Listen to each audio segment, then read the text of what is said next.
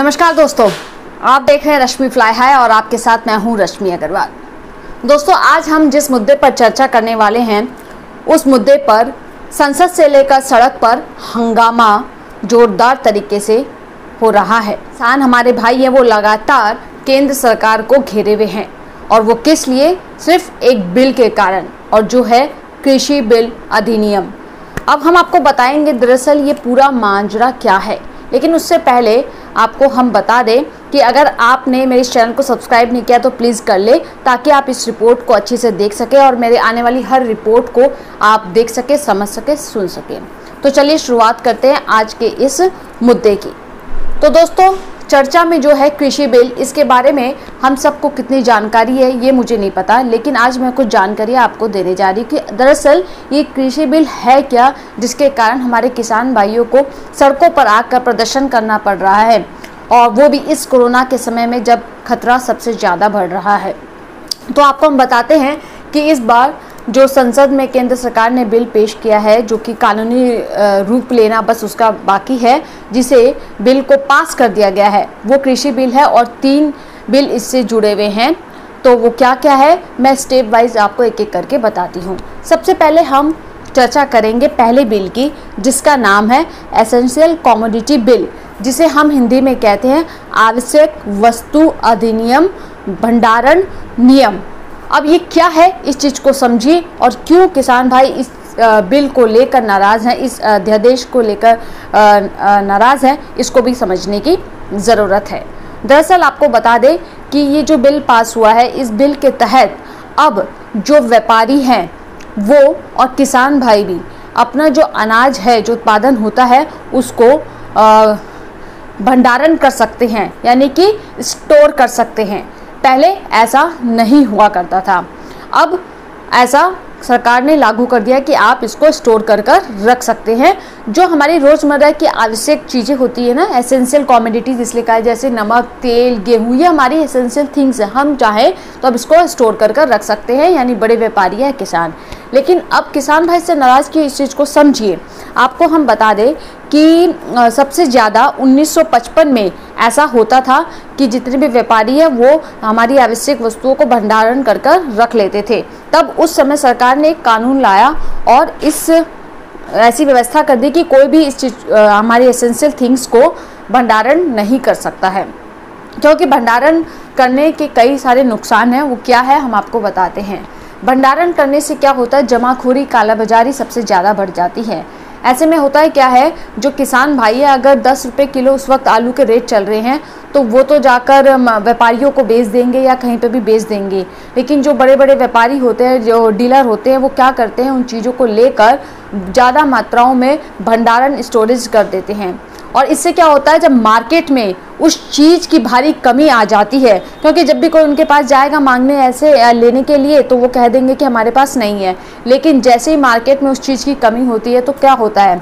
जैसे कमी आएगी तो फिर रेट इंक्रीज हो जाते हैं चीज़ों की, क्योंकि हमारे पास वो चीज़ कम होती है। लेकिन जो स्टोर किए हुए होते हैं, वो उस वक्त इस चीज़ का फ़ायदा उठाते हैं तब जाके वो अपनी भंडारण की हुई चीज़ों को निकालना शुरू करते हैं, दोगुने तिगुने दाम पर। तो इस तरीके से जमाखोरी, कालाबाजारी और महँगाई बढ़ती है। तो इसी वजह से किसान किसान जो भाई है, वो इस चीज़ को लेकर नाराज़ है कि जो बड़े व्यापारी वो तो भंडारण चलिए कर लेंगे। हालाँकि इसमें खराबी है, लेकिन किसान भाई जो एक छोटी सी झोपड़पट्टी में रहते हैं, उनके पास कहाँ भंडारण कितनी शक्ति है? अगर वो ज़्यादा से ज़्यादा कितना कर लेंगे? व्यापारियों के जितना तो कर नहीं पाएँगे। तो ऐसे में वो भंडारण कैसे करेंगे? ये एक बड़ा सवाल है। तो मेरे हिसाब से आ, मेरा पॉइंट ऑफ़ व्यू इस अधिनियम को लेकर पहले अधिनियम को लेकर ये था। आपका क्या है? आप कमेंट बॉक्स में लिखकर ज़रूर बताइएगा। अब दूसरी तरफ़ हम रुक करते हैं। दूसरे अधिनियम की तरफ़ जिसका नाम है कॉन्ट्रैक्ट फ़ार्मिंग ये बहुत इंपॉर्टेंट अधिनियम है और ये अच्छा भी है। अब क्या है इस अधिनियम में कॉन्ट्रैक्ट फ़ार्मिंग में? चलिए इसको हम विस्तार से समझते हैं। दोस्तों कॉन्ट्रैक्ट फ़ार्मिंग का मतलब हुआ प्राइस बिफोर फ़ार्मिंग यानी कि अब जो हमारे किसान भाई हैं, वो पहले ही, उत्पादन से पहले ही अपने भी जो भी उपज है, गेहूँ या किसी भी चीज़ की जो खेती करेंगे, उससे पहले ही उसके रेट फिक्स कर लेंगे। किससे रेट फिक्स कर लेंगे? व्यापारियों से। मैं आपको एग्ज़ाम्पल के तौर पर समझाती हूँ।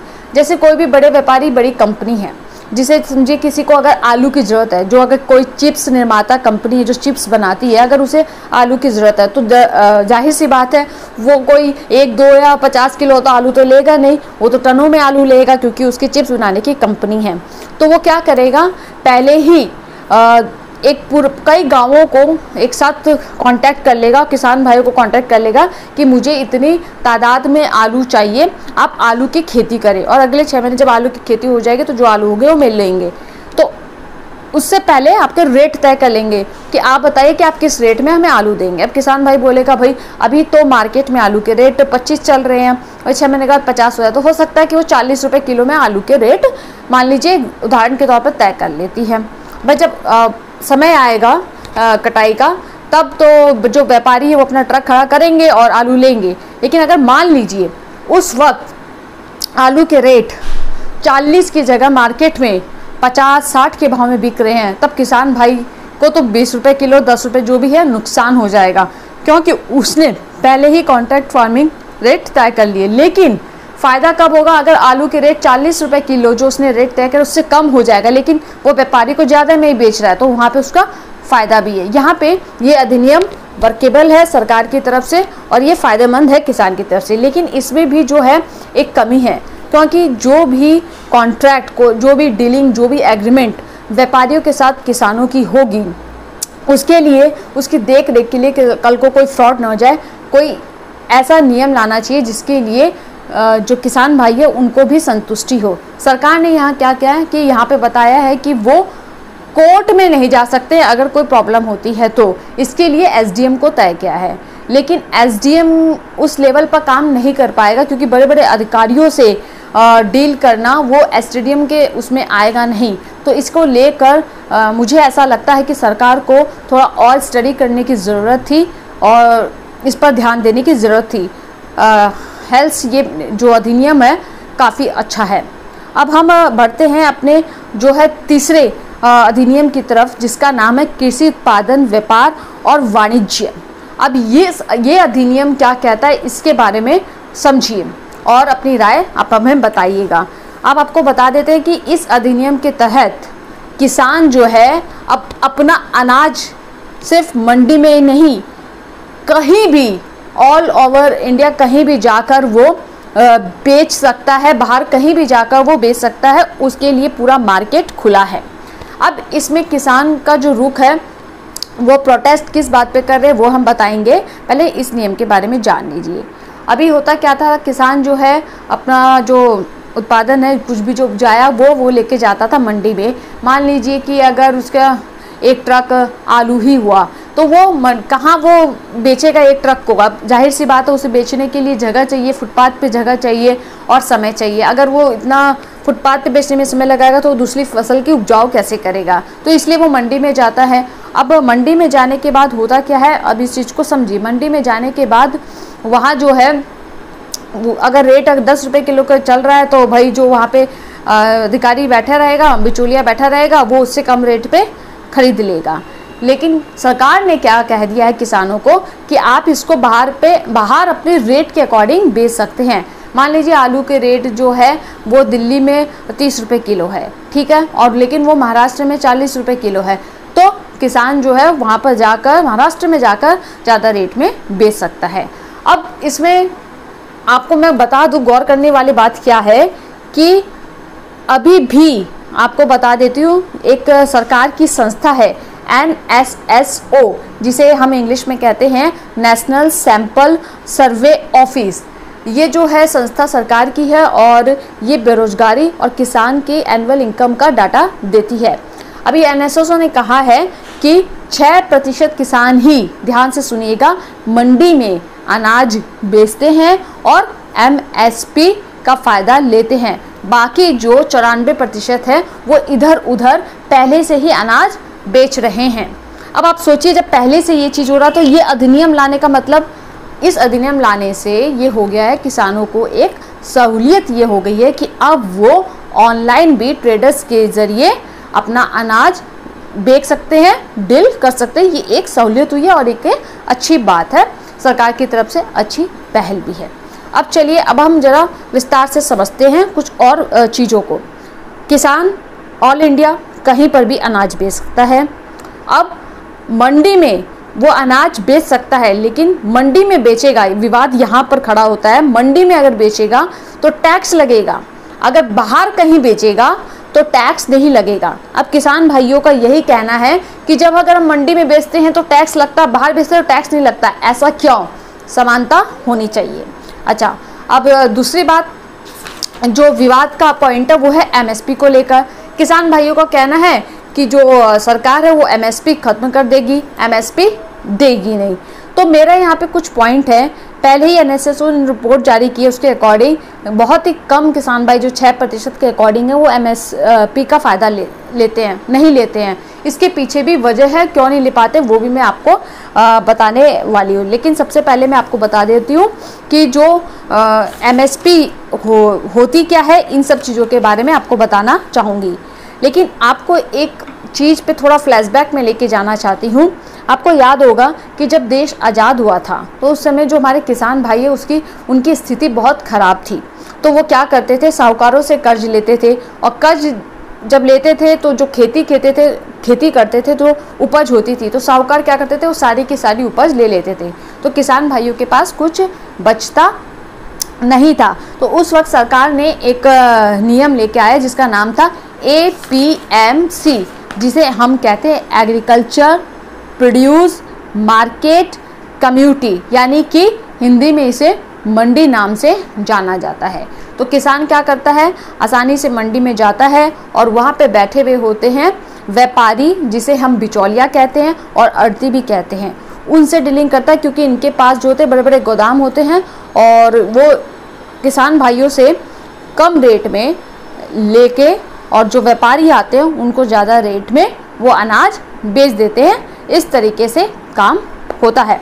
अब विवाद का कारण है कि बिचौलिए कह रहे हैं कि अब हमारा क्या होगा? हमारे जो जो स्टोरेज है, उनका क्या होगा? क्योंकि मंडी में टैक्स वाली वो दे दी कि अगर मंडी में बेचेंगे तो टैक्स लगेगा। तो ज़ाहिर सी बात है, कोई किसान मंडी में जल्दी से बेचना नहीं चाहेगा। तो वही किसानों को लग रहा है कि सरकार उनकी एमएसपी ख़त्म कर देगी। इस पर सरकार का तर्क ये है, ना बिचौलियों को नुकसान होगा, ना एमएसपी खत्म होगी, सब वैसे के ही वैसे रहेगा। अब आपको बताएँ ये भी समझना ज़रूरी है कि विवाद जिस चीज़ को लेकर हो रहा, वो है क्या? एमएसपी यानी मिनिमम सपोर्ट प्राइस जिसे हिंदी में न्यूनतम समर्थन मूल्य कहते हैं। अब न्यूनतम समर्थन मूल्य को जो जो जारी करता है, वो है कृषि आयोग, जिसे इंग्लिश में सी ए सी पी कहते हैं, जो कि एफ़ सी आई के अंदर काम करता है। ये प्रक्रिया पूरी तरह इस तरीके से चलती है कि एम एस पी जो है आपको मैंने जो सेकेंड अधिनियम बताया था, वो था contract farming M S P plus contract farming का जो प्रोसेस है ऑलमोस्ट सिमिलर है. कैसे समझिए? एम एस पी कैसे काम करता है? दरअसल सरकार क्या करती है? किसानों को कह देती है कि अगर आलू के रेट मान लीजिए मान लीजिए कोई फ़सल है, उसके रेट अगर दस रुपये है, गेहूँ के दस रुपये किलो है तो सरकार किसान से सौ रुपये या बीस रुपये किलो में उसे खरीद लेती है और जब उपज होती है तो सरकार वो खरीद लेती है। लेकिन अगर रेट बढ़ जाते हैं कल को ओपन मार्केट में 16 की जगह अगर 20 हो जाते हैं तो सरकार उस बढ़े हुए रेट में भी खरीद लेती है। एमएसपी में ये फ़ायदा होता है। लेकिन कॉन्ट्रैक्ट फ़ार्मिंग में जो अब है, उसमें क्या फ़ायदा हुआ? जो आपने रेट डिसाइड कर ली है, व्यापारी से वही रेट होंगे, ना कम, ना ज़्यादा। तो ये डिफरेंस दोनों में होता है। अब एमएसपी में दिक्कत क्या आती है? एमएसपी होने के बाद भी एफ़ एसएसओ की रिपोर्ट के अनुसार छः प्रतिशत किसान इसका फ़ायदा उठा पाते हैं। कैसे? जो एमएसपी है एमएसपी जो, मैंने आपको बताया किसके अंतर्गत आती है? कृषि आयोग, जो कि एफसीआई के अंदर काम करता है। जो एफसीआई में, के अधिकारी जो है एमएसपी के गोदामों में बैठे होते हैं। अब जब किसान उनके पास जाते हैं तो वो कोई ना कोई बहाना एफसीआई के अधिकारी बहाना बना देते हैं कि गोदाम में जगह नहीं है या कुछ भी फलाना डिकना करके किसानों को लौटा देते हैं। अब किसान मजबूरन बस जो है, वो मंडी में जाता है और जो दाम मिलता है, उस पर अपने अनाज को बेचने के लिए विवश हो जाता है और वो बेच देता है। अब जैसे वो मंडी में उस अनाज को बेचता है, वैसे ही एफ़ के अधिकारी मंडी में जाते हैं और उन बिचौलियों से ज़्यादा दाम में, यानी कि अगर किसान ने दस रुपये किलो अनाज बेचा है तो एफसीआई के अधिकारी मंडी से पंद्रह रुपये किलो अनाज खरीद लेंगे और वो एफसीआई के गोदामों में ले आएँगे। अब यहाँ पे क्या होता है, सरकारी खातों पे वो दिखा देते हैं कि पच्चीस रुपये किलो उन्होंने किसानों से अनाज लिए, लेकिन लेते हैं, वो मंडी में जाकर किसानों से डायरेक्ट लिए नहीं। यहाँ पर एफ़ का अधिकारी बैठे बैठे दस रुपये की कालाबाजारी करके अपने पॉकेट पे पैसे लेके वो घर को निकल गया। अब सोचिए, किसान जो दिन रात इतनी मेहनत करके फ़सल उगाता है, उसको भी इतना फ़ायदा नहीं हो रहा जितना उन अधिकारियों को बैठे बैठे हो जा रहा है। तो अब चीज़ों को समझना इसी तरीके से है कितने भी अधिनियम लाए गए हैं तीनों, अभी दो पास हुए हैं, उनमें कुछ खामी भी है और कुछ अच्छाई भी है। अब इन चीज़ों को समझना, बारीकी से और इस पर ठीक से काम करने की ज़रूरत है। जैसे कि अधिनियम दो जो कॉन्ट्रैक्ट फ़ार्मिंग के बारे में बताया मैंने, वो काफ़ी अच्छा है। उस पर थोड़ा सा जो मैंने बताया कि अगर कोई दिक्कत आ जाए तो कंप्लेन के लिए कोर्ट के रास्ते खोले जाए, ना कि सिर्फ़ एक एसडीएम तक जाए। क्योंकि कोर्ट के रास्ते खुलने से किसान भाइयों को एक सहूलियत हो जाएगी कि हाँ कानून और सरकार दोनों हमारे साथ है।